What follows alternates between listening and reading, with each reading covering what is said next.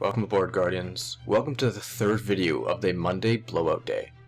Today we'll be taking a very quick look at Bungie's new trailer.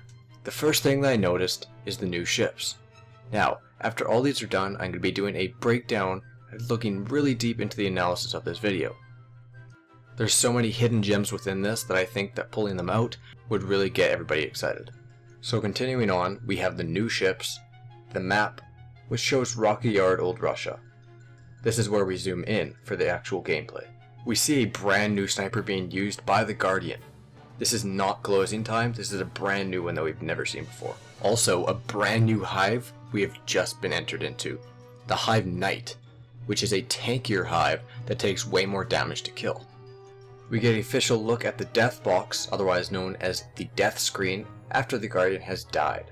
Also, I'm going to give you a second to take a look at the music. You can tell it's by Marty O'Donnell because it has that emotional feel to it.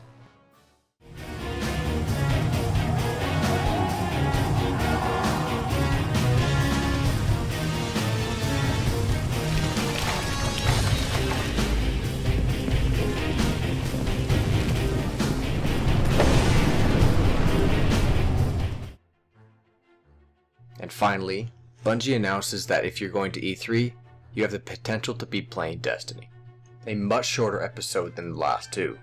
But like I said, after all these articles and videos being summarized by me, I'm going to be doing a large breakdown. So if you have enjoyed the video, please consider leaving a like, as it does help me quite a bit. And if you really enjoyed my content, please consider subscribing. For more Destiny news and information, make sure to follow my Twitter for the newest little tidbits of information. Until next time, take care.